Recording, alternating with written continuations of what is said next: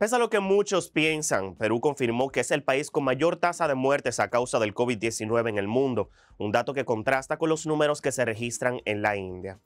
Más información en el siguiente reporte de la Agencia Francesa de Prensa. Perú es el país con la mayor tasa de muertos por COVID-19 en el mundo. El país sudamericano actualizó el lunes su balance oficial de muertos por la pandemia de 69.000 a 180.000 tras recibir la recomendación de un grupo técnico de expertos peruanos y de la Organización Mundial de la Salud creado en abril.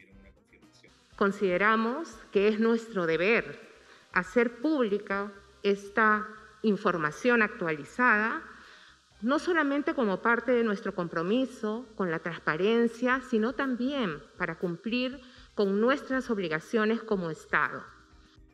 Con su cifra de decesos anterior, Perú ocupaba el lugar 13 a nivel mundial, pero ahora alcanza más de 5.400 muertes por millón de habitantes.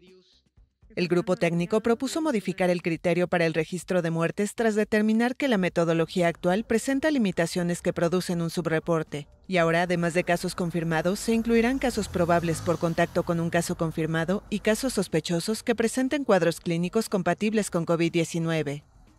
Con 33 millones de habitantes, el país andino registra más de 1.900.000 contagios y enfrenta desde diciembre pasado una segunda ola de la pandemia. Vamos a tener cifras más exhaustivas y cifras que, como bien ha señalado el ministro de Salud, nos van a ser de gran utilidad para continuar no solamente monitoreando la pandemia, sino sobre todo tomando las medidas adecuadas para enfrentarla y ojalá muy pronto superarla. Perú inició la vacunación el 9 de febrero, pero la campaña ha avanzado lentamente rodeada de controversias políticas y hasta ahora solo alcanza el 5% de la población adulta. El balance de decesos fue ajustado a seis días del balotaje presidencial. En los hospitales peruanos hay 11.988 pacientes con coronavirus, pero el sistema de salud ha tenido un respiro porque la ocupación de camas está en un descanso tras alcanzar un pico el pasado mes de abril. Manténgase informado en nuestras plataformas digitales y siga con nuestra programación en RNN Canal 27.